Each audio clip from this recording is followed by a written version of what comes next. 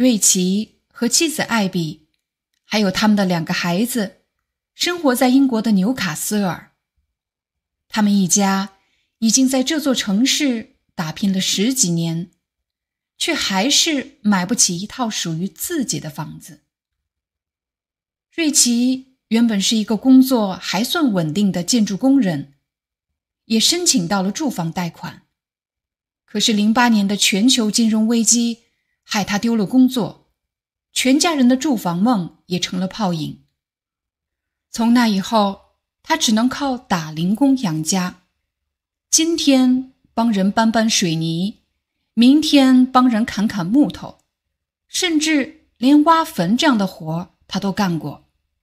每天躺下就是失业，睁眼就得去找工作。可无论生活多么艰难。他都没有领过失业救济金，对他来说，人要自食其力，绝不能靠政府的施舍过日子，这是瑞奇做人的基本底线。但他知道，一直靠日结养家可不是长久之计。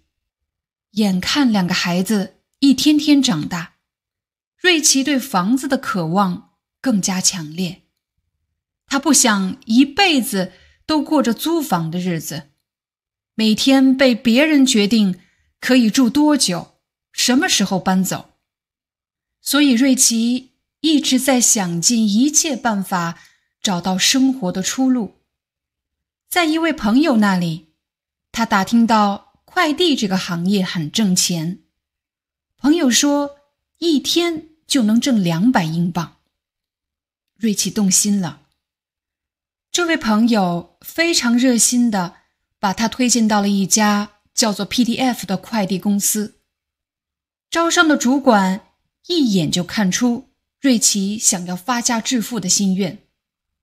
他告诉瑞奇，一辈子给别人打工不会有出息，只有创业才能改变命运。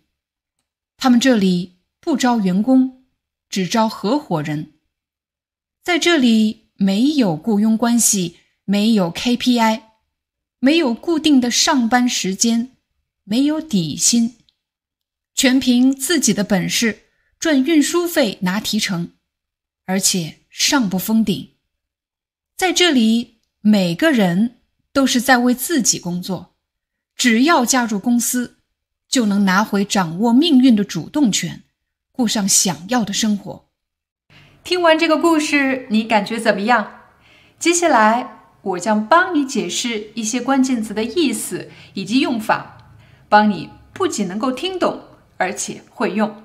他们一家已经在这座城市打拼了十几年，却还是买不起一套属于自己的房子。他们一家已经在这所城市打拼了十几年，打拼不是指打人。而是指拼搏、努力生活、努力工作的意思。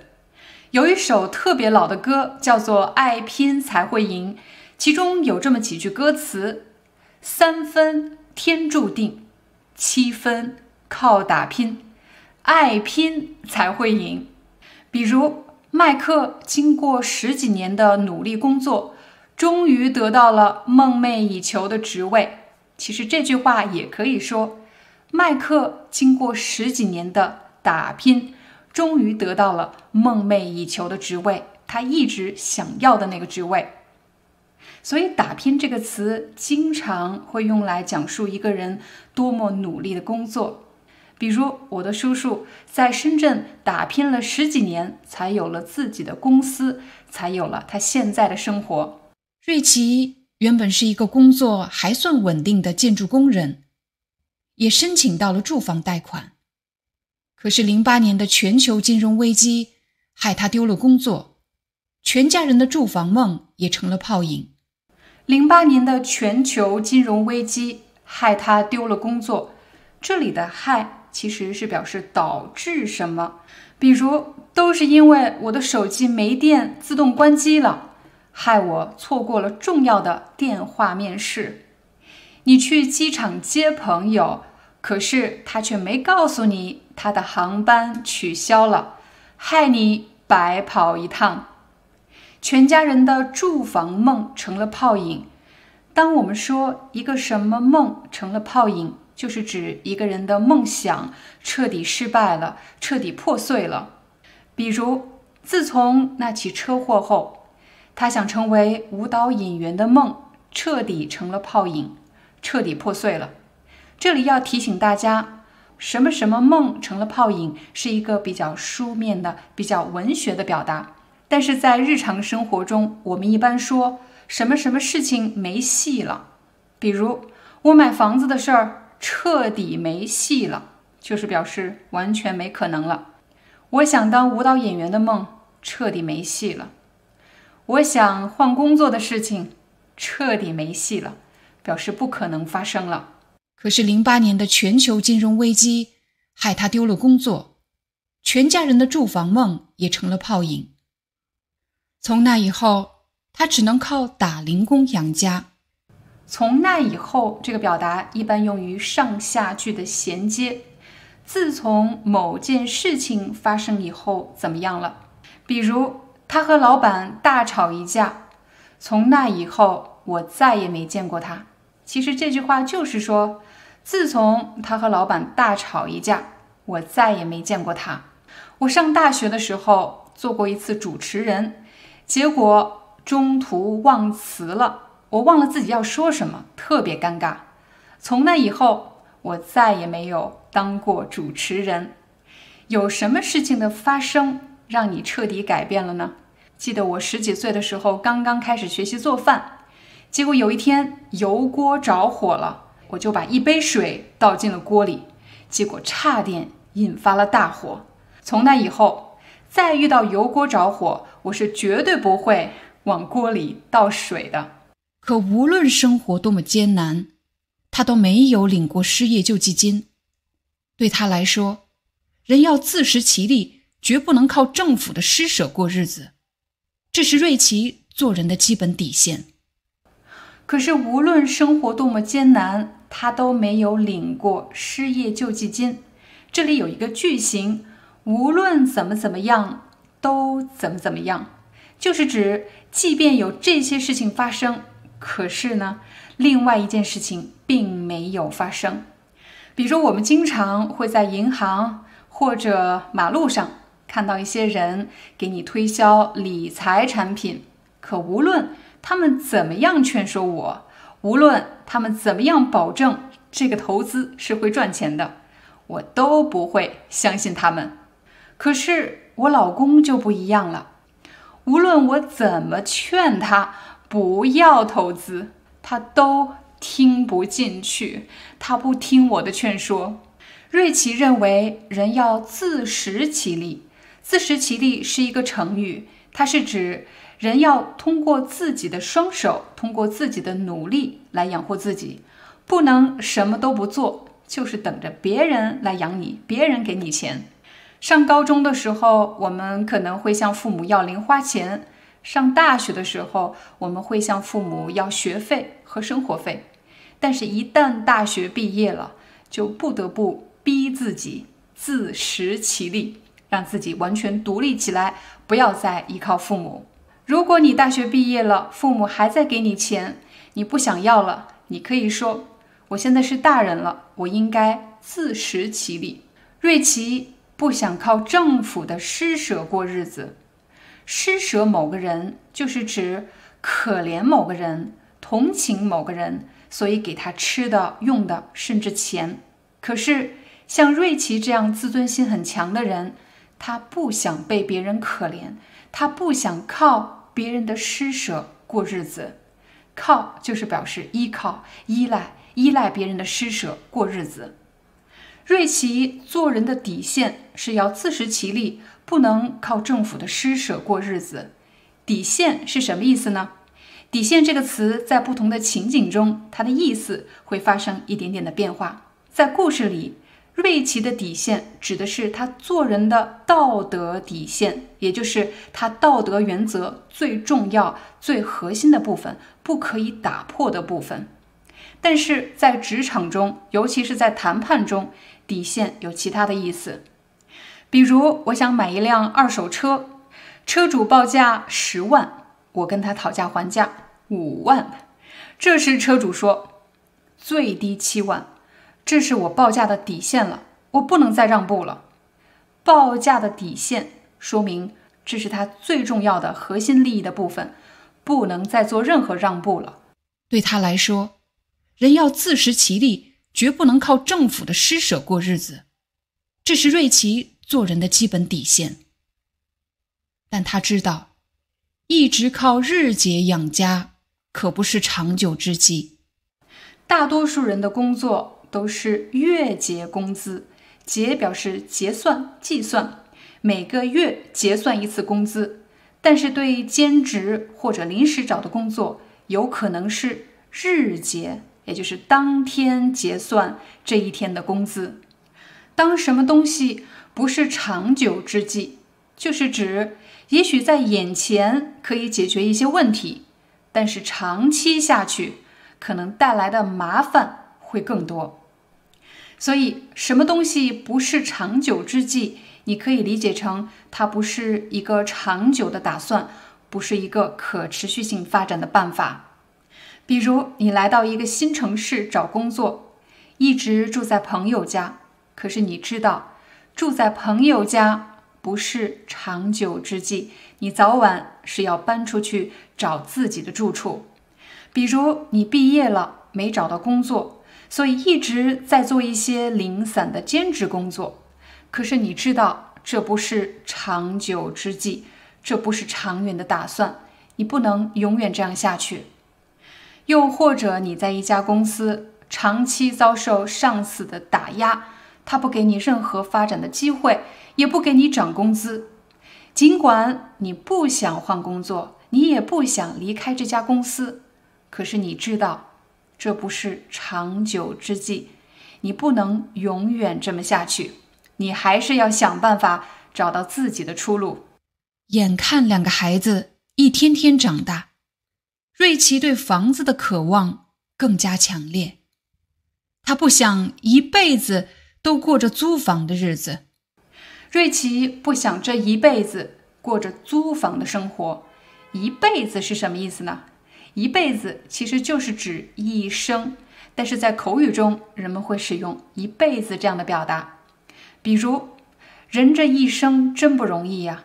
更加口语的表达是：人这一辈子真不容易。我这一生就跟着你了，我这辈子就跟着你了。我想我们一生永远在一起。我想我们一辈子永远不分开，永远在一起。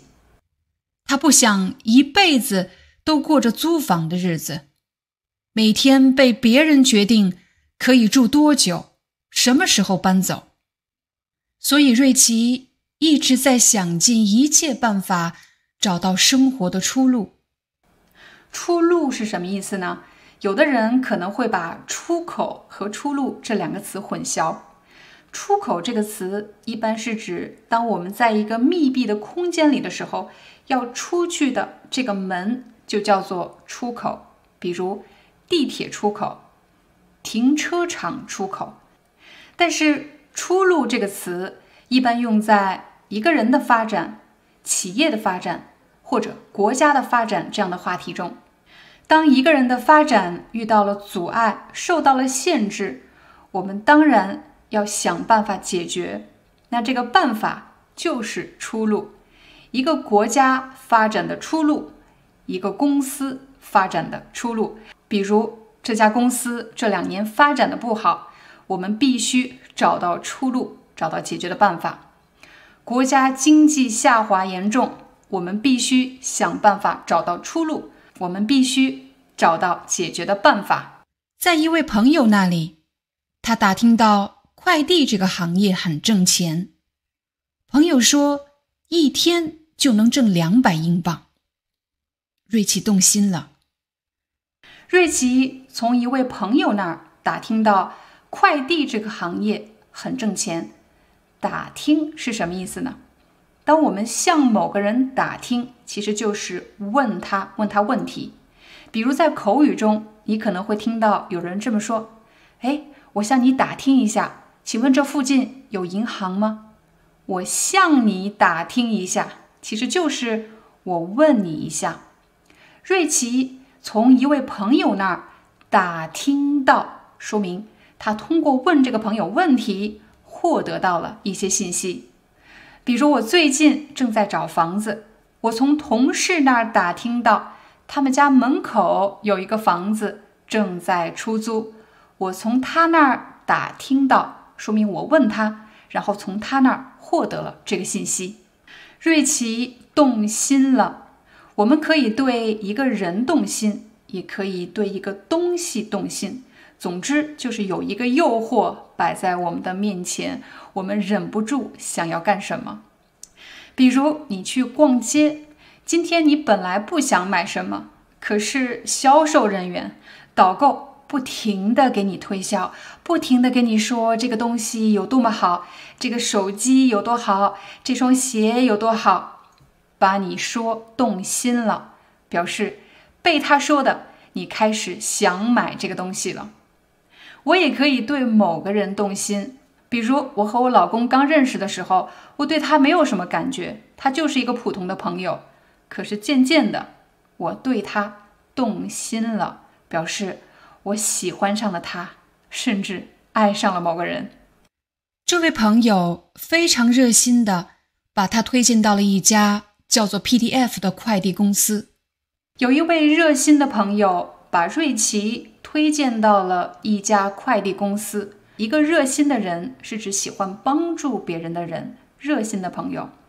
但是这位朋友的热心真的是善意的吗？他把瑞奇推荐到了一家快递公司。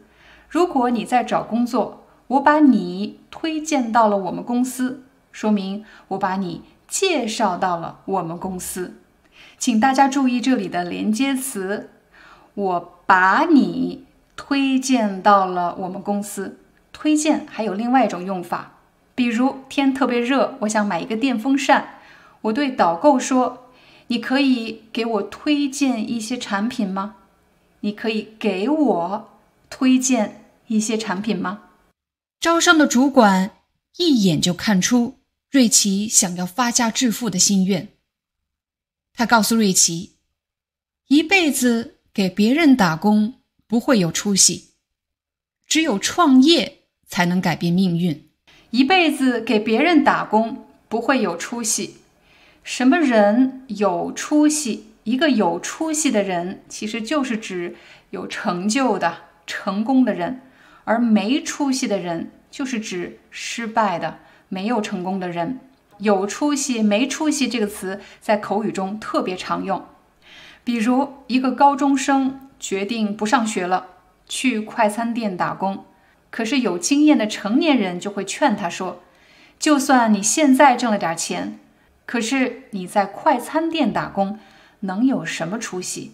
就是指你在快餐店打工不会有什么成就，不会获得什么成功。”再比如，有的人上小学、初中、高中的时候学习成绩特别好，当时大人们都夸他，这孩子以后肯定有出息，以后肯定能够成功，肯定有所成就。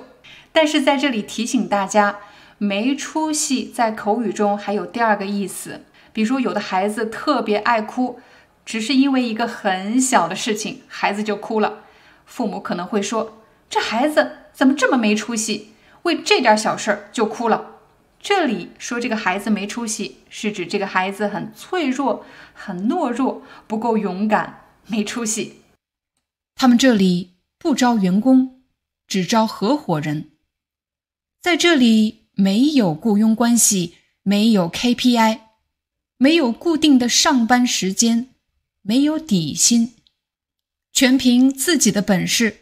赚运输费拿提成，而且上不封顶。很多工作都有底薪，底薪其实就是指基本工资。在底薪之上，你可能还会有奖金、补贴一些其他的收入来源。尤其是那些和销售相关的职业，很多时候他们的底薪非常低，也就是基础工资非常低，一般是靠提成来获得收入。提成是指从一个销售的总额里提取一定的额度作为回报。假设你想委托房产中介卖房子，房产中介当然要收取一定的佣金。这个佣金的计算办法一般是房子总价的百分之一到百分之三。这个百分比的计算办法其实就是提成。所以，当人们在房产中介卖房子的时候，经常会问这样的问题：你们中介提成提多少？我们提百分之一，我们提百分之二。人们把“提成”这个词简化了，我们提百分之一。提百分之二，其实就是指我们赚取提成百分之一，我们赚取提成百分之二。如果你已经学会了提成，我们再来看“上不封顶”这个词。请大家想象，你是一名销售人员，你来面试销售这个职位。我告诉你，在我们公司，销售没有底薪，没有基本工资，但是你可以赚取提成。如果你能完成一百万的销售额，你的提成是百分之一；如果你完成了两百万的销售额，你的提成是百分之二；如果你完成了三百万的销售额，你的提成将是百分之三。如果按这个计算方法，只要你能完成销售业绩，那你的工资肯定会大幅度的增加。你可能会怀疑，这么多钱，公司真的会发给我吗？我向你承诺，上不封顶，你能赚多少，公司就发给你多少。上不封顶，就是指这个最高数额没有限制，没有最高额的限制。在这里，每个人都是在为自己工作，只要加入公司，就能拿回掌握命运的主动权。过上想要的生活，主动权。如果一个人在某件事情上有主动权，就是指他可以主导这件事情发展的方向。假设你正在面试一个职位，但其实，在你参加这个面试之前，你已经得到了三四个 offer。如果你是公司需要的稀缺人才，那么在面试的时候，你就会有相当大的。主动权，公司会尽可能满足你的需要，是你在主导这场面试。这时我们就可以说你拥有主动权。不要忘了下载视频下方的中文 ebook，我们已经帮你总结出了今天用到的关键词汇、核心句型，把今天学到的全部变成你自己的。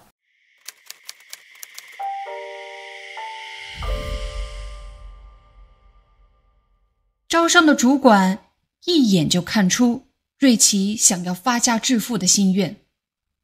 他告诉瑞奇：“一辈子给别人打工不会有出息，只有创业才能改变命运。他们这里不招员工，只招合伙人。在这里没有雇佣关系，没有 KPI，没有固定的上班时间。”没有底薪，全凭自己的本事赚运输费拿提成，而且上不封顶。在这里，每个人都是在为自己工作，只要加入公司，就能拿回掌握命运的主动权，过上想要的生活。瑞奇听得热血沸腾，他仿佛是找到了改变命运的机会。于是果断加盟，成了合作商。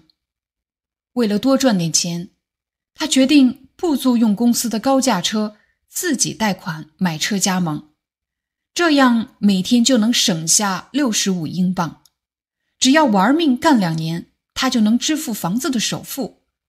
但问题是，贷款买货车也需要钱，首付就要一千英镑。这些年来，他和妻子艾比省吃俭用，可他们的存款却还是少得可怜。无奈之下，瑞奇想让妻子把家里唯一的一辆车卖掉，可那是妻子艾比每天上班的代步车。尽管艾比知道自己的工作没了代步车会被累死，但还是招架不住丈夫的雄心壮志，对幸福生活的美好许诺。最终，她答应了丈夫。签署合作协议后，瑞奇开启了他的创业之路。公司主管发给他一块扫描设备，并提醒他这东西贵的要死，而且全程会监控他的行踪。领了一堆快递后，瑞奇就上岗了。但这份工作却没有他想象的那么简单。模糊的收件地址害他浪费了不少时间，交警的罚单他也只能无奈接受。更让人恼火的是，遇到蛮不讲理的客户。还得硬着头皮满足各种奇葩的要求，就算打碎牙也得往肚里咽。瑞奇甚至遇到一个客户，仅仅因为他穿了自己家乡曼联球队的球服，就把他臭骂一顿。不服气，敢还嘴，就威胁给他差评。瑞奇哪能忍下这口恶气，就和客户争执起来。才干了几天，瑞奇就发现。没有 KPI 纯属是骗人。如果不能完成固定的派单，一天就白干。没有固定上班时间，就等于没有休息，随时在工作。连小便都要拿塑料瓶在车里解决。说是合伙人，但他还不如一般的底层打工人，连最基本的保底收入、正常生活的尊严都没有。一个同事早上出了事故，后视镜被撞坏了。可就连这种无法避免的意外，想请两个小时的假去修车，也被公司拒绝。可是主管却说，除非他能自己找到人和车来帮他代班，否则两小时也算旷工一天。同事抱怨公司的制度太苛刻，他已经连续工作十四天了。连修个车都不批准，这简直是没人性。可是主管却警告他，不想干就走人。他太爱抱怨，工作效率又差。他那条派单多的路线，应该给更勤快的人干，比如瑞奇。被压榨到极限的同事没能控制住愤怒，对主管大打出手，最终被公司炒了鱿鱼。瑞奇头脑简单，只想挣钱，傻乎乎的就接过了这条线。可这真的是改变命运的契机，还是走向深渊的开始呢？听完这个故事，你感觉怎么样？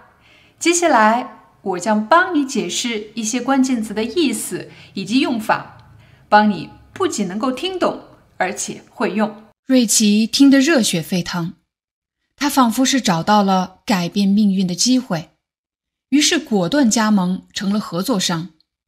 热血沸腾，热的血液都沸腾了起来。其实啊，这个成语的意思就是指一个人特别的激动。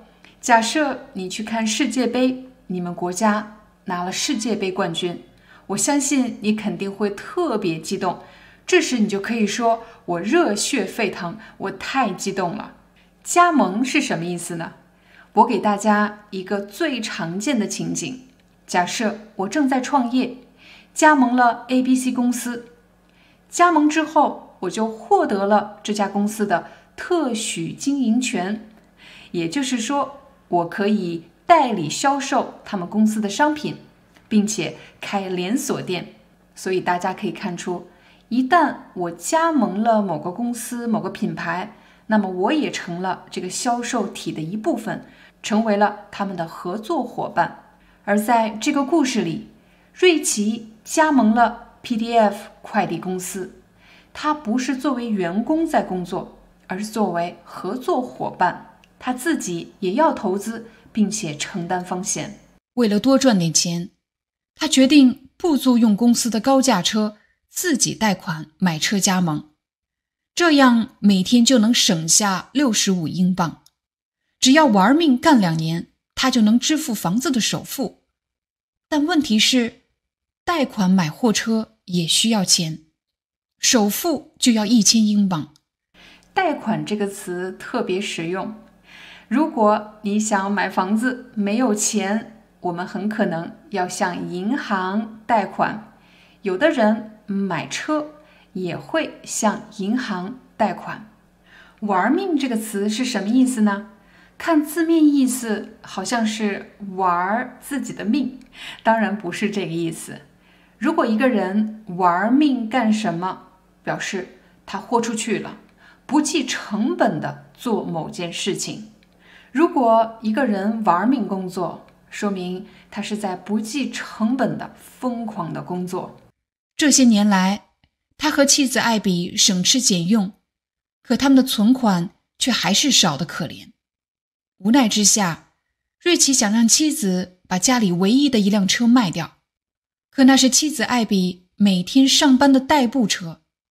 代步车的意思就是指这部车的目的是为了减少步行的距离而买的代步车。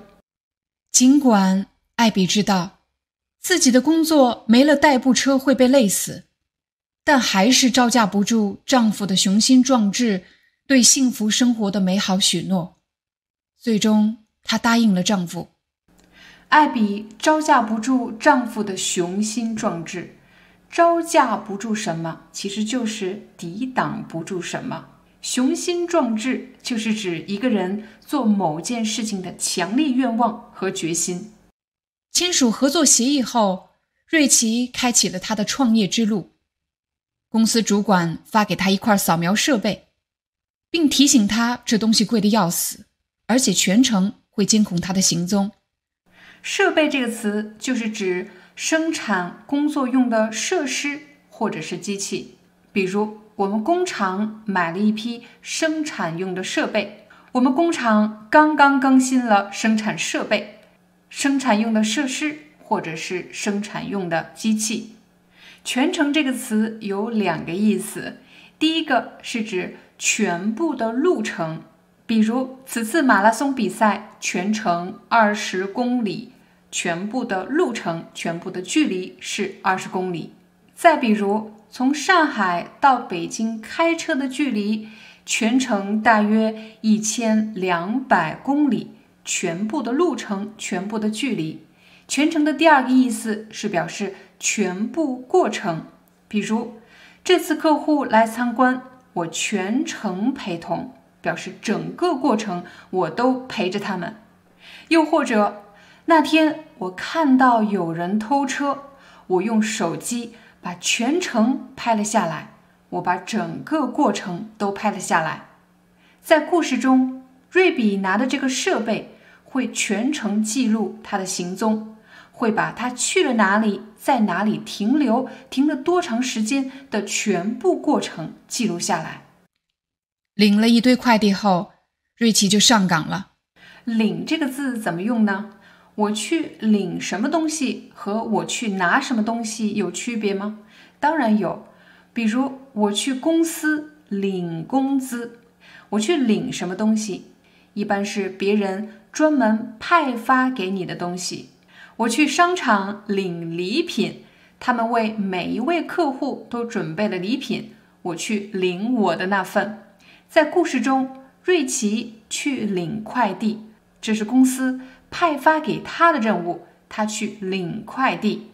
当然，如果你平时有网上购物的习惯，快递人员给你打电话说你的快递到了，你可以回答：“我马上就来拿快递。”你也可以说，我马上就来领快递，但这份工作却没有他想象的那么简单。模糊的收件地址害他浪费了不少时间，交警的罚单他也只能无奈接受。更让人恼火的是，遇到蛮不讲理的客户，还得硬着头皮满足各种奇葩的要求，就算打碎牙也得往肚里咽。什么事情让人恼火？恼火就是指让一个人非常生气的意思。蛮不讲理的客户就是指粗野、蛮横、不讲道理的人。你在工作中有没有遇到过蛮不讲理的客户呢？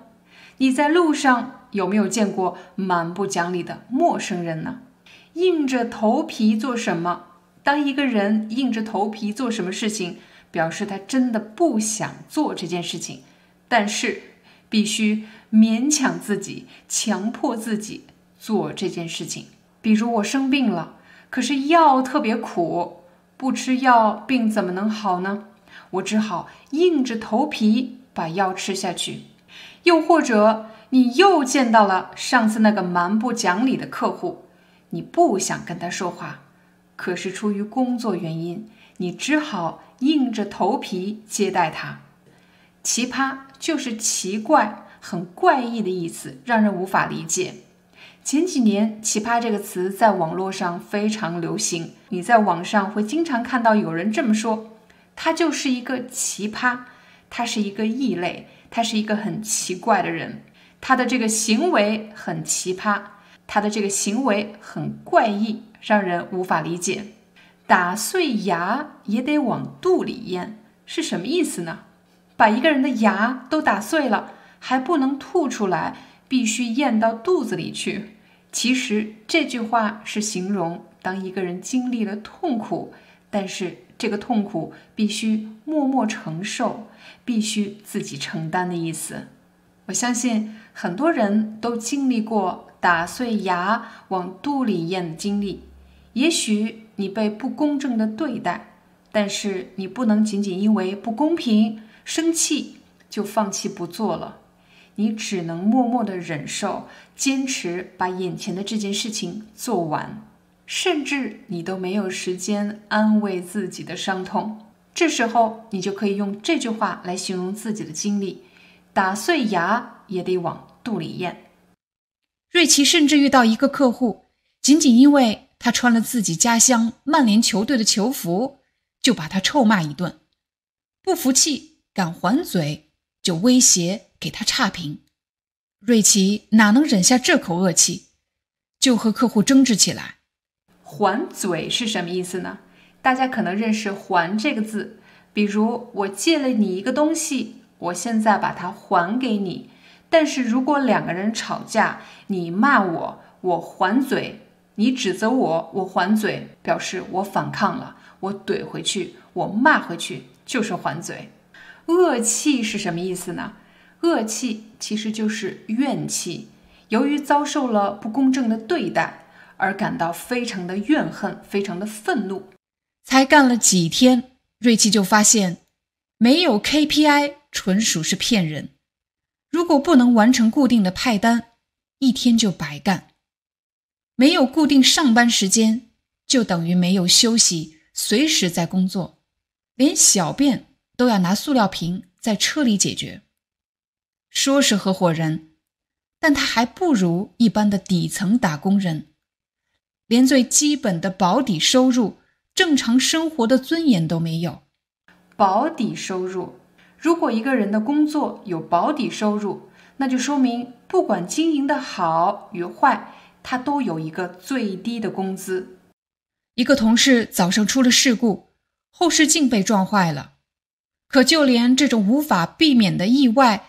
想请两个小时的假去修车，也被公司拒绝。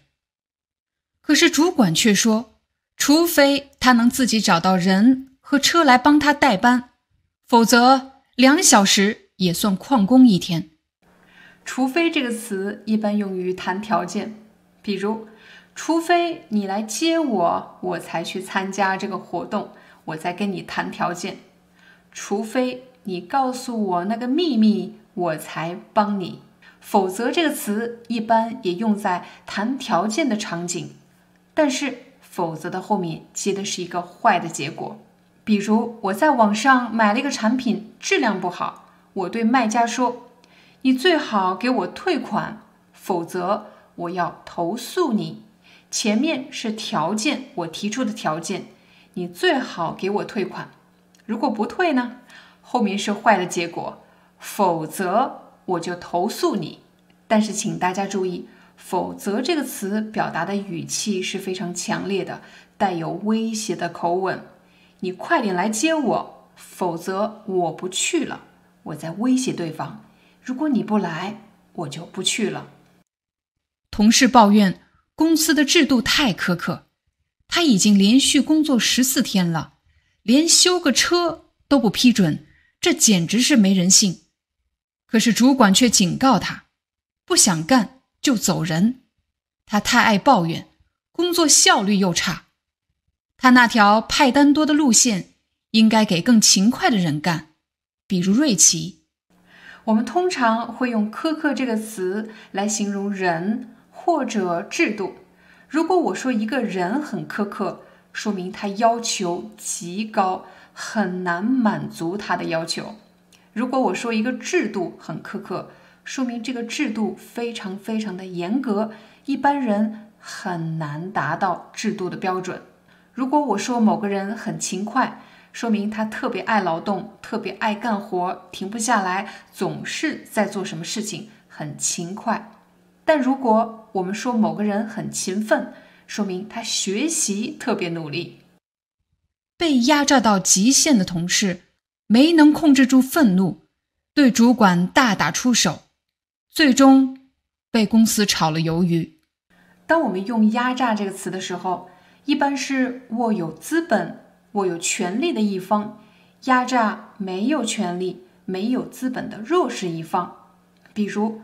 集团高层压榨底层员工，政府压榨人民。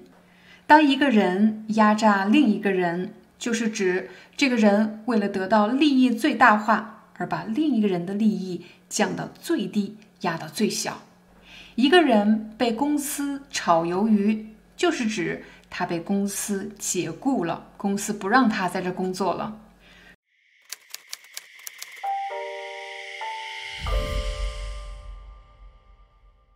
瑞奇整天为生计发愁，而妻子艾比的处境也好不到哪儿去。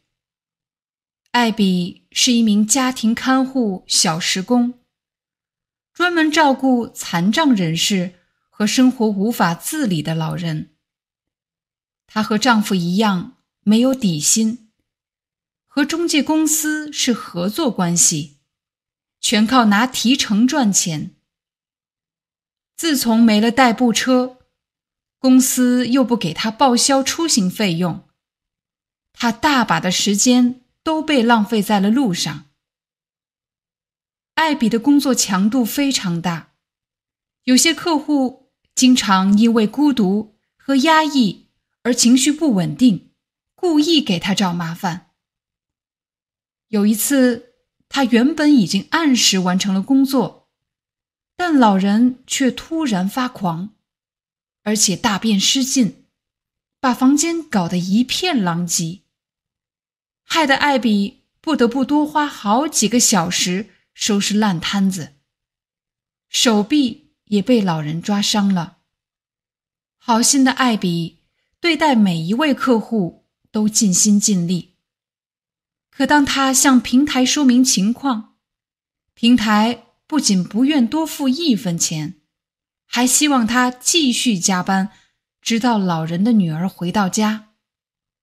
因为平台担心客户会因为今天的事给差评。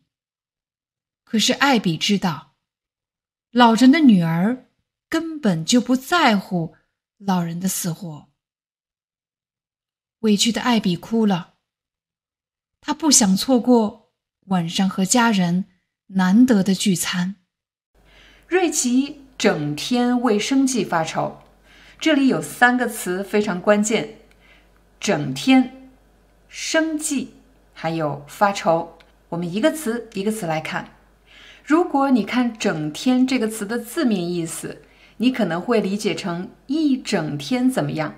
但在口语中，如果我们说某个人整天干什么，其实就是指。总是干什么？比如家长会对青春期的孩子说：“别整天在那玩手机，你的作业写了吗？”别整天在那玩手机，就是指你不要总是在那玩手机。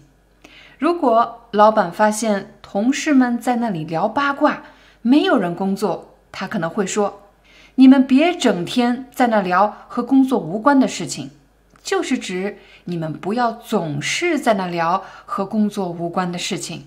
所以“整天”这个词要比“总是”更加的口语。下一个词“生计”，“生计”这个词比较难，你可能会在新闻里听到这个词。生表示生活，计表示计策和办法。比如乌俄战争爆发以后，法国政府接收了很多乌克兰难民，那么政府就要解决他们的生计问题，解决他们基本的生存问题，怎么生活的问题。发愁，如果一个人为什么事情发愁，那么肯定是他非常想解决这个问题，可是他却没有办法，非常的痛苦。很多学生会为考试和毕业这样的问题发愁，而毕业以后呢，又会为找工作发愁。你现在为什么发愁呢？瑞奇整天为生计发愁。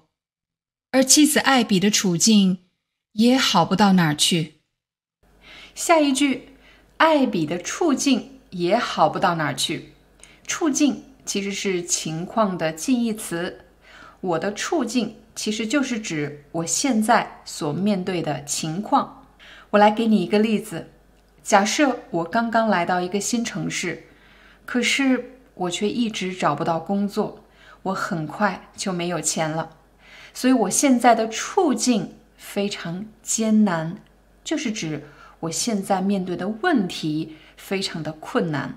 除了说个人以外，我们也可以说公司或者国家。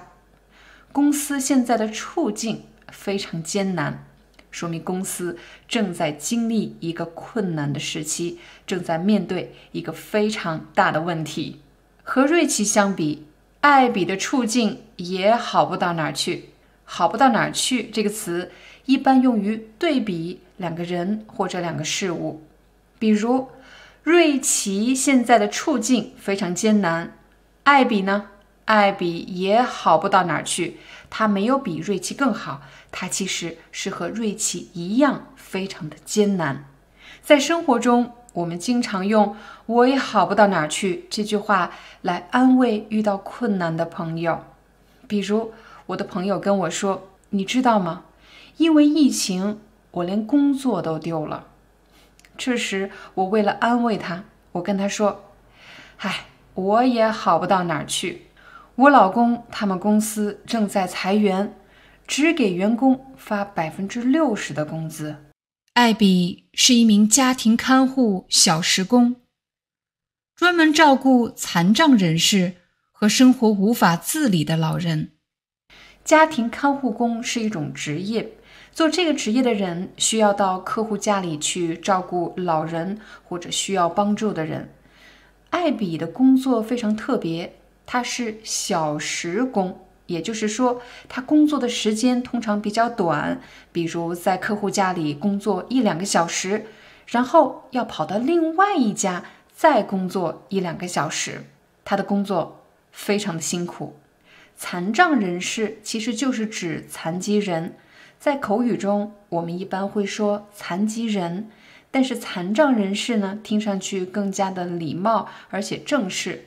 比如你在商场或者在火车站，你可能会看到这样的牌子：“残障人士通道”，就是指专门为残疾人设计的通道。生活自理，自理其实就是指自己照顾自己。生活自理是一个能力，比如小孩子小的时候，他不能生活自理，比如不能自己吃饭，不能自己刷牙，不能自己穿衣服。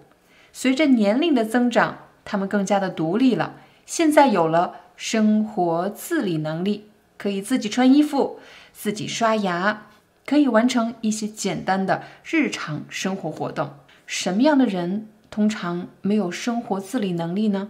比如，在这个故事里，是那些患有重病的老人。她和丈夫一样没有底薪，和中介公司是合作关系，全靠拿提成赚钱。自从没了代步车，公司又不给她报销出行费用，她大把的时间都被浪费在了路上。公司。不给艾比报销出行费用。什么什么的费用，就是指做什么事情花的钱，比如教育费用，在教育上花的钱；旅行费用，旅行时花的钱。在故事里，艾比要乘坐公共汽车去客户家，那么就会产生费用。出行费用的意思其实就是交通费用。你们公司给你报销出行费用吗？报销是什么意思？怎么报销？假设你今天去上班，打车花了十块钱，出租车司机一般会给你一张发票，你要把这张发票交给公司的财务部工作人员，你花了多少钱，公司就补给你多少钱，这个过程就是报销。看“大把”这个词的字面意思，好像是一大把。我给大家演示一下，一大把。但是在口语中，它的意思就是很多。艾比把大把的时间浪费在了路上，他把很多的时间浪费在了路上。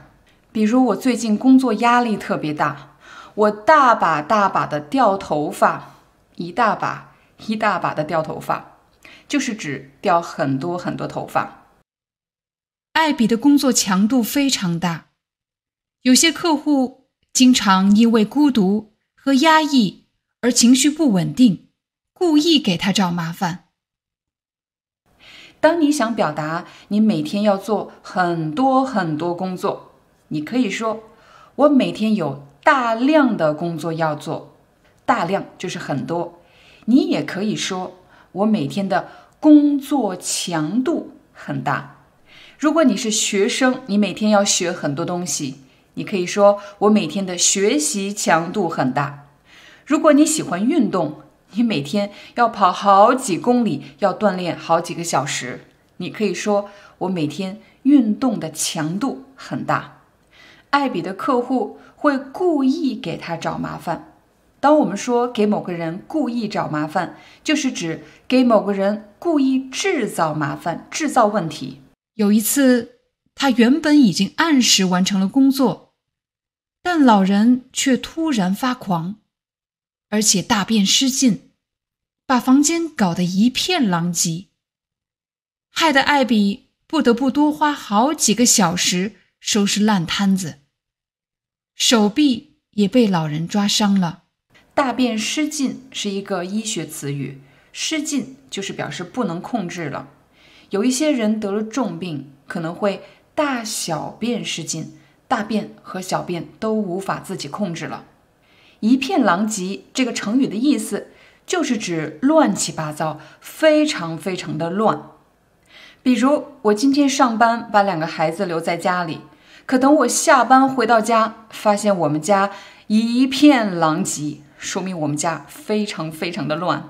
收拾烂摊子是一个非常口语的表达。烂摊子的意思在这里就是指麻烦。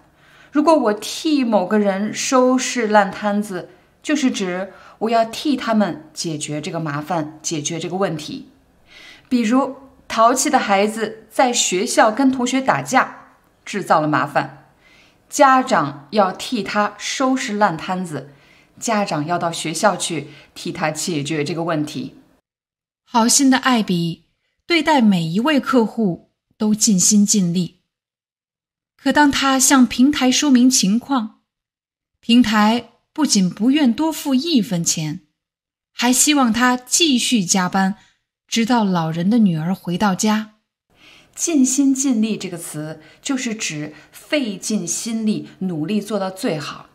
如果你对待工作尽心尽力，说明你是一个非常有责任心的人，你努力把工作做到最好。当然，我们也可以说你对待某个人尽心尽力，比如艾比对待他的客户尽心尽力，老师对待他的学生尽心尽力，医生对待他的病人尽心尽力。平台是什么意思呢？平台是一个商业用语，在故事里，这一边是正在寻找服务的病人或者残障人士，而这一边是正在寻找工作，像艾比这样的人。那么他们之间如何达成交易呢？那么就需要一个中间人，这个中间人帮他们完成对接。当然，这个中间人不是一个人，而是一个商业机构。这个商业机构提供了一个商业的网络，提供了一个合作的机会，帮他们完成对接。这就是平台。比如 YouTube，它就是一个多媒体平台。大家想要看有帮助的中文课程。而我正在寻找那些想要学习中文的人，那么我们的对接就是在 YouTube 平台上完成的。可当他向平台说明情况，平台不仅不愿多付一分钱，还希望他继续加班，直到老人的女儿回到家。因为平台担心客户会因为今天的事给差评。可是艾比知道。老人的女儿根本就不在乎老人的死活，委屈的艾比哭了。他不想错过晚上和家人难得的聚餐。我们再来看“委屈”这个词。当一个人受到了不公平的对待，就会觉得很委屈。比如，你今天明明完成了工作，但是是同事不小心。把你的文件删除了，但是老板却因为这件事情扣了你的工资，不是你的错，却要扣你的工资，你觉得很委屈。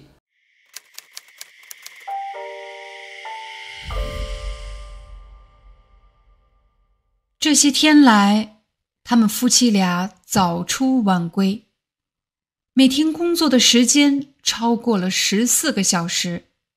根本没工夫照顾孩子，他们原本就和孩子缺乏相处，现在更是彻底放养。他们的大儿子塞巴正处于青春期的叛逆期，不仅经常迟到旷课，还跟着一群问题少年到处惹是生非。为了和朋友买喷漆。就连自己唯一的一件名牌皮衣也卖了。瑞奇苦口婆心的教育儿子，千万不能走上歪路。他现在之所以这么卖命的工作，就是希望儿子能好好学习，以后出人头地。但塞巴却反驳：读书根本没用，即便考上大学，也要欠一大笔学生贷款。而且毕业了也只能做一些低端的工作，像他这样底层家庭出身的孩子，根本没有出路。难道父亲不就是这样吗？每天风里来雨里去，卖命工作，也只是在瞎折腾。现在就让我们一起来看一看故事里的关键词汇，让你不仅能听懂，而且会用。这些天来。他们夫妻俩早出晚归，俩是什么意思呢？其实夫妻俩就是指夫妻两个，但是在口语中，人们经常会把“两”这个字发成“俩”。你们两个，你们俩，他们夫妻两个，夫妻俩早出晚归，早出很早就出门了，晚归。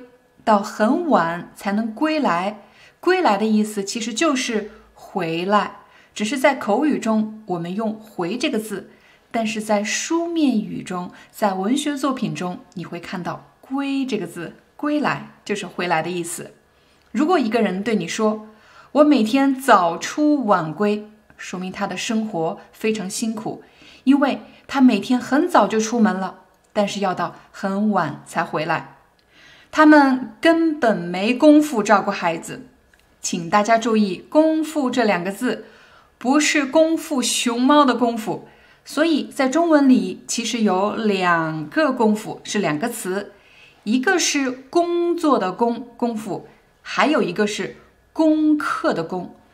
他们没功夫照顾孩子，其实就是没时间照顾孩子。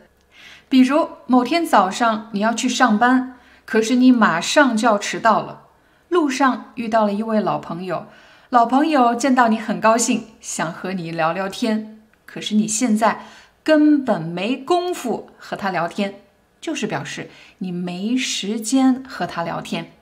但是，请大家注意，当你想拒绝别人说“我没时间做什么”，千万不要说“我没工夫干什么”，因为这样的表达太直接了，不太礼貌。你应该说：“不好意思，我现在。”赶时间，放养是什么意思呢？放养，放开了养。放养这个词，十年前一般用于养殖业，比如养鱼、养鸭、养鸡、养羊、养羊这个动物啊。放养什么动物，其实就是指把它放到比较宽敞的地方，放到大自然里面养的意思。但是后来。放养这个词变成了育儿话题当中的一个热点词汇，放养式教育。如果我对我的孩子是放养式教育，那么说明我不会对他做出过多的管束，我不会什么都管，更多的时候是让他自己试错，在犯错中自己学习，放养式教育。但是在故事里，瑞奇和艾比对两个孩子彻底放养。说明他没时间照顾孩子，没时间关心教育两个孩子。塞巴这个孩子正处于青春期的叛逆期，经常有朋友问我“于”是什么意思？处于就是指处在，正处在什么时候？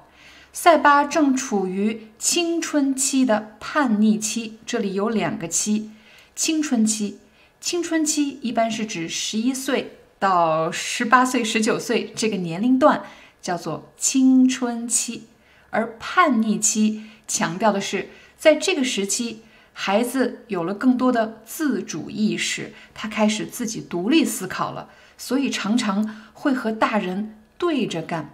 大人说对，他们就会说错；大人说错，他们就会说对，常常和大人对着干。叛逆期。塞巴这个孩子真让人不省心，他经常迟到、旷课。旷课的意思就是指这节课不上了，他可能去什么地方玩了。大学生经常旷课，今天早上有一节数学课不想去了，他今天旷课。但如果一个人长期旷课，今天的课不上，明天的课也不去，我们就会说这个人逃学。长时间不上课，我们说逃学。除此之外，塞巴还和一群问题少年到处惹是生非。问题少年是什么意思呢？首先你要理解少年，少年说明他还没有成年，应该是十八岁以下。少年不是儿童，所以他应该是十一岁以上。十一岁到十八岁之间的这个年龄段呢，可以称为少年。问题少年，问题少年一般是那些缺乏教育、缺乏家庭的关怀而出现了品行上的问题，他们到处制造麻烦，比如打架、逃学这一类的青春期的孩子，我们就说他们是问题少年。下一个词，惹是生非，这是一个成语，很多人以为惹是生非的“是”是事情的“事”。不是的，应该是是不是的“是”。这里有好多“是”，惹是生非。其实你可以把它理解成就是制造是非。是非是什么意思呢？是非就是纠纷的意思，麻烦的意思，到处制造麻烦。我们就说这个人到处惹是生非。瑞奇苦口婆心地教育儿子。苦口婆心也是一个成语，而且很实用。苦口婆心，婆的意思不是老婆，而是老婆婆，就是老妇人的意思。像老婆婆一样，像老妇人一样，非常耐心的反复给孩子解释，反复教育孩子。这里的教育是一个动词，就是指给孩子讲道理，什么是对的，什么是错的。什么是绝对不可以做的？歪路是什么意思呢？请大家看我的头。如果我做这个动作，我刚才把头歪过来了，我再放回来，我的头摆正了。所以正和歪是反义词，正、歪、正、歪。正路就是指正确的路，而歪路呢，当然是错误的路。他现在之所以这么卖命的工作，卖命这个词是什么意思呢？当你想表达你是非常非常非常努力的工作，甚至连自己的健康也不考虑了，什么都不考虑了，你可以说你在卖命的工作。下一个词出人头地，出人头地也是一个成语。出人头地的意思就是指成就突出，超过了其他人。瑞奇之所以卖命工作，就是希望自己的儿子。出人头地，就是希望自己的儿子未来能够成功。塞巴在和自己的父亲争论，到底上大学有没有用？低端是什么意思呢？低端其实是一个档次的划分，请大家看这里：低端、中端、高端。我们可以用低端、中端、高端来形容产品，还有职业。在故事里，塞巴认为，就算他大学毕业了，也只能做一些低端的工作。低端的工作通常是那些技术含量比较低，而且收入比较低的工作。低端工作，那中端呢？中端工作、中端职业呢？通常是需要一定的技术、一定的知识，收入也处于中等档次。高端职位。高端职位当然需要更多的技术、更多的知识储备，那么收入也会比较高。高端职位、中端职位、低端职位。下一个词，底层家庭出身的孩子。刚刚我们学了一个低端，用来形容产品、职业。底层这个词一般是用来划分社会的等级，社会的底层，社会的中层。社会的高层，底层这个词除了可以用来划分社会的等级，也可以用来划分公司内部的等级。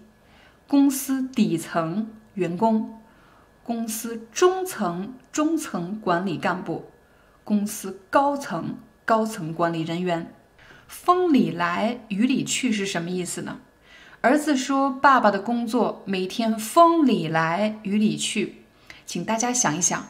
瑞奇的工作是送快递，不管今天是刮大风还是下大雨，他都不能停止快递的派送，他都要克服这些困难去完成自己的工作。所以塞巴是在说，爸爸的工作非常非常的辛苦，每天要在外面跑来跑去的，不管在外面遇到了什么困难，他都要完成工作。但是请大家注意，当你用风里来雨里去的时候，一般是在外面跑来跑去的人会用这个词。如果一个人的工作是每天坐在办公室，他当然不是风里来雨里去。其实，在刚才我们已经学习了一个形容工作辛苦的成语，你还记得吗？早出晚归。现在又学了第二个，风里来雨里去。所以，如果你的工作是每天很早就要出门，很晚才能回家。而且不管今天是刮风下雨还是烈日当头，你都要出去工作。那么我们就可以把这两个表达连起来使用。我每天早出晚归，风里来雨里去。如果真是这样，你的工作真的太辛苦了。下一个表达瞎折腾。首先，折腾这个词非常非常的口语，折腾表示翻来覆去的不停的做。我来给大家一个例子，很多创业的人呢，看上去非常忙，今天要开店，明天要搞网站设计，后天要买车，总之呢，他总是有很多事情让他停不下来，不停的在工作。可是，如果他的繁忙并没有带来任何的收益，可能他就会说自己是在瞎折腾，没有意义的繁忙，没有意义的在不停做事情。但是，请大家注意，如果我把“瞎”这个字拿走，变成“折腾”这两个字，如果有人跟你说：“嗨，我这个人就是喜欢折腾，喜欢折腾，说明我喜欢做出一些大的改变。比如啊，我这几年还在上班，后来又辞职去留学，留学完毕之后呢，又回国创业开公司。这个人一直没停下来，一直在做一些重大的改变、有挑战的事情。他是一个爱折腾的人。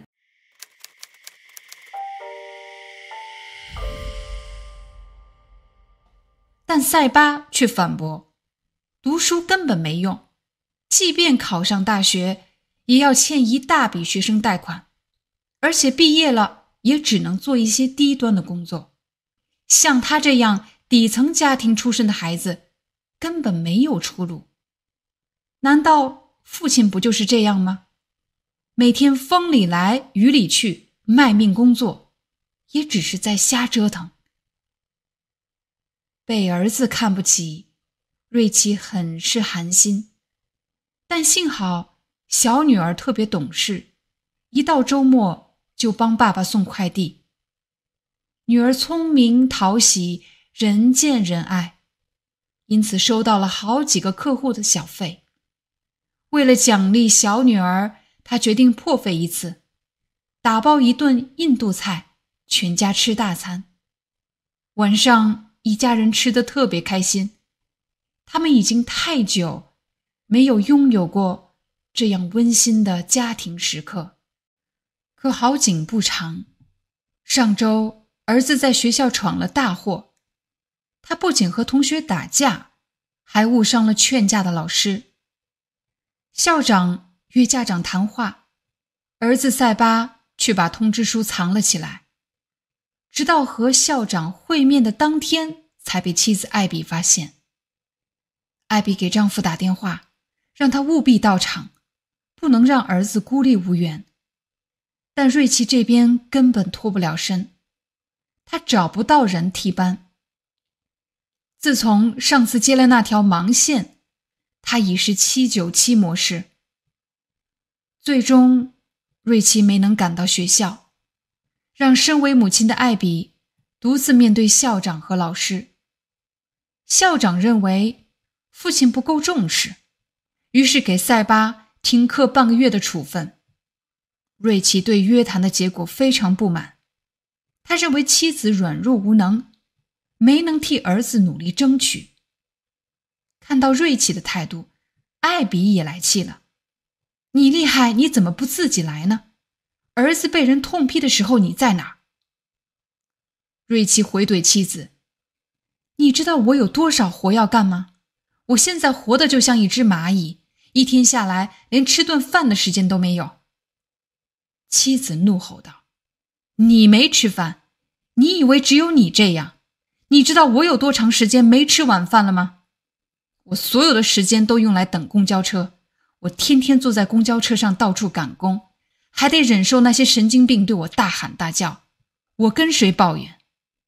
妻子一气之下摔门而去。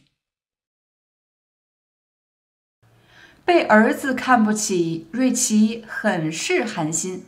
很是寒心就是特别寒心、非常寒心的意思。寒心和伤心有什么区别呢？寒心这个词有两个意思。第一个意思是表示失望，第二个意思是害怕。我来给大家两个场景：你一直在帮一个朋友，可是他不仅不感谢你，反而在背后说你的坏话，你感到非常寒心，你感到非常失望的意思。第二个情景：几年前我经历过一起车祸。现在想起这件事情，我还感到寒心；现在想起来，我还感到害怕。在故事里，瑞奇感到寒心，是指瑞奇感到失望。他给儿子讲了这么多道理，儿子不仅不理解父亲，反而看不起他，他感到非常寒心。小女儿很懂事。懂事这个词一般用于夸奖一个孩子。被儿子看不起，瑞奇很是寒心。但幸好小女儿特别懂事。一个孩子很懂事，说明他不给大人制造任何麻烦，而且帮大人做很多事情，理解大人。这个孩子很懂事。小女儿特别懂事，一到周末就帮爸爸送快递。女儿聪明讨喜，人见人爱，因此收到了好几个客户的小费。女儿聪明讨喜，人见人爱。这里有两个成语来形容女儿，聪明讨喜的意思就是指特别聪明，让人忍不住喜欢她。人见人爱，谁见了都喜欢这个孩子。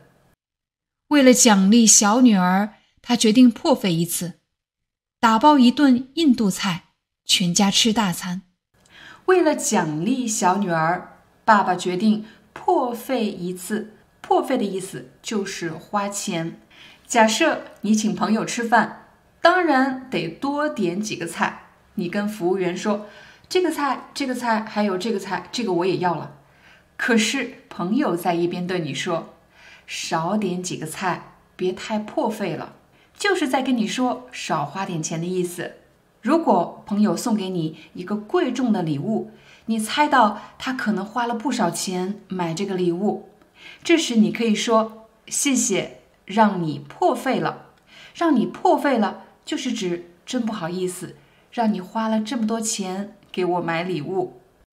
可好景不长，上周儿子在学校闯了大祸，他不仅和同学打架，还误伤了劝架的老师。好景不长是一个成语，好景，好的光景，好的情况。不长，不能持久，不能持续很长时间。瑞奇和妻子虽然工作非常非常辛苦，但是当一家人聚在一起的时候也是非常幸福的。可是这样的幸福并没有持续很长时间。如果你在讲述故事的过程中需要做一个转折。明明是一个幸福的结果，可是突然变得不幸福了。这时你就会用到“可是好景不长”，好景不长的后面很可能要讲到一个糟糕的事情，比如“好景不长”，儿子在学校闯了大祸。一个人闯祸了，说明他做错了什么事情，制造了什么麻烦，而且。这个错误比较严重，他会因为这件事情受到惩罚。我们就说一个人闯祸了，比如一个学生在学校闯祸了，有可能他在学校打了同学，又或者把学校的什么设施给搞坏了。一个人在公司闯祸了，那有可能是他做错了什么严重的事情，会因此受到惩罚。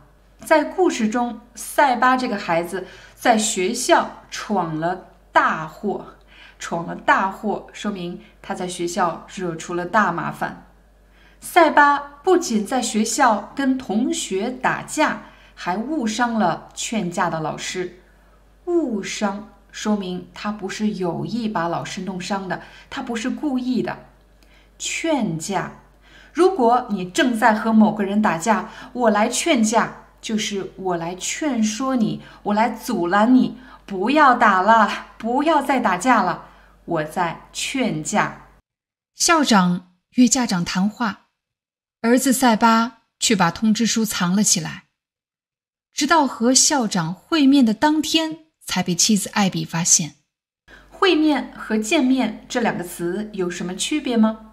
我来给你一个例子，比如法国总统马克龙。和中国国家主席习近平将在北京会面，这是一条新闻。在新闻里，人们使用的语言一般比较正式，所以会面是一个非常正式的词。在新闻里你会遇到，但是在生活中，我们用见面这个词就可以了。比如，我和你约好了，我们两个明天下午在公司楼下见面。艾比给丈夫打电话，让他务必到场。不能让儿子孤立无援。妻子让丈夫务必到场，务必就是一定、必须的意思。但是“务必”这个词非常的正式。比如，你想邀请客户参加一个非常重要的会议，你可以说：“请您务必参加这个会议”，就是指请您一定要参加这个会议。你也可以说：“请您务必到场”，到场就是到达。活动进行的场所，其实就是请您一定要来参加的意思。孤立无援是一个成语，它的意思就是指一个人面对得不到外力的援助、外力的帮助。比如在学校，你一定要有几个好朋友，不然当你被别人欺负的时候，就会孤立无援，就只能一个人面对，得不到任何帮助。在公司也一样。在团队里，大家要互相信任、互相帮助，否则遇到问题的时候就容易孤立无援。但瑞奇这边根本脱不了身，他找不到人替班。自从上次接了那条盲线，他已是七九七模式。尽管瑞奇知道这次会面非常重要，但是他根本脱不了身。根本脱不了身，就是指他没办法摆脱手上的工作，根本走不开的意思。假设你正在和客户见面，但是老板让你立刻回公司，这时你就可以说：“我正在和客户见面，现在脱不开身。忙完这件事情，我立刻赶回公司。我现在脱不开身。”你也可以说：“我现在走不开。”两句话是同一个意思，七九七就是指每天七点上班，九点下班，一周工作七天的意思。最终，瑞奇没能赶到学校，让身为母亲的艾比独自面对校长和老师。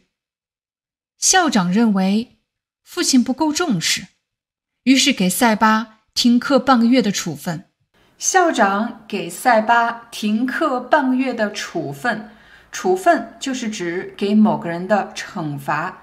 请大家注意“处”这个字，“处”是一个多音字，有的时候读“处”，比如到处走一走，“处”。但是这里呢，读三声“处分”，处分。有的朋友可能会问，既然是惩罚的意思。我可以说我在家给孩子一些处分吗？不能这么用。处分这个词一般不用于个人之间，而是用在一个机构或者组织里。比如学校给学生处分，在公司里管理者给员工处分，又或者是政府机构、军队都会听到“处分”这个词。学校给塞巴停课半个月的处分，停课。停止上课，但如果是在政府机构，你会听到“停职”这个词，给某个人停职半年的处分，在这半年里停止担任某个职务。瑞奇对约谈的结果非常不满，他认为妻子软弱无能，没能替儿子努力争取。软弱无能是一个成语，我们经常会用这个成语来形容一个人的性格。如果一个人胆小怕事，遇到什么事情不仅害怕，也没有能力解决，我们就会觉得这个人软弱无能。比如我上大学的时候，就觉得自己有些软弱无能，被人欺负了，我不知道该怎么保护自己，除了害怕，什么也做不了。我觉得自己有些软弱无能。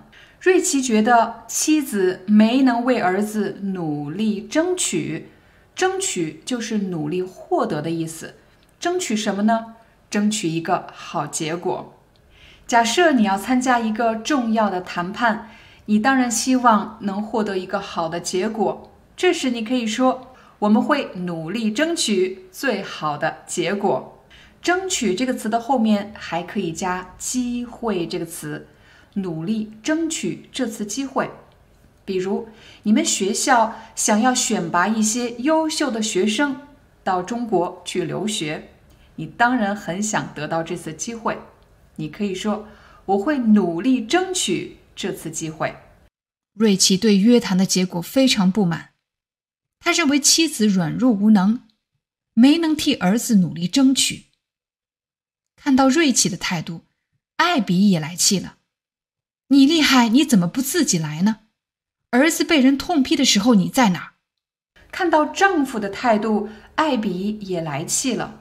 来气其实是一个非常口语的表达，就是指开始生气了。看你这个态度，我也来气了，我也开始生气了。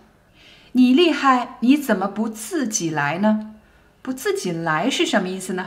不是这个来，不是过来的意思，而是指你来做，让你来做，你怎么不来做呢？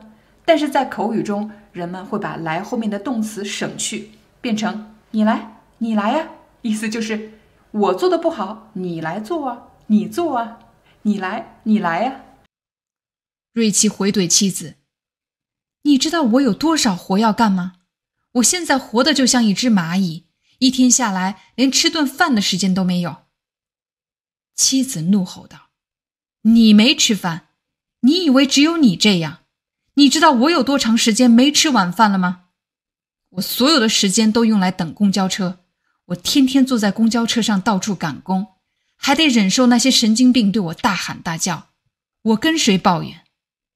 妻子一气之下摔门而去。艾比对丈夫说：“我天天坐在公交车上到处赶工，赶工是什么意思呢？赶有赶时间的意思，工工作。大家知道，瑞比是小时工。”他要在这家工作一两个小时，再到下一位客户家工作一两个小时。他要到处赶着时间工作，他要到处赶工。如果在职场里，你听到有人跟你说“咱们要抓紧时间赶工”，就是指咱们要快一点完成工作。神经病这个词是什么意思呢？看到“病”字，你可能会认为它是一种疾病，但其实不是的。如果一个人的行为非常非常奇怪，你无法理解他为什么这么做，你可能会用到“神经病”这个词。但是，请大家注意，当我们和朋友开玩笑说“你神经病啊”，和我对着陌生人很生气的跟他说“你神经病啊”，两个的意思是不一样的。我来给大家两个例子，比如我的一个好朋友，他特别喜欢做恶作剧。他经常会从后面走过来，嘣，吓我一大跳。这时候我可能会对他说：“你神经病啊！”我觉得这个人他的行为特别奇怪，我有时候无法理解，但是我觉得他特别搞笑，特别好玩。我们两个关系很好，所以我可以说：“你神经病啊！”用这种方式来开玩笑。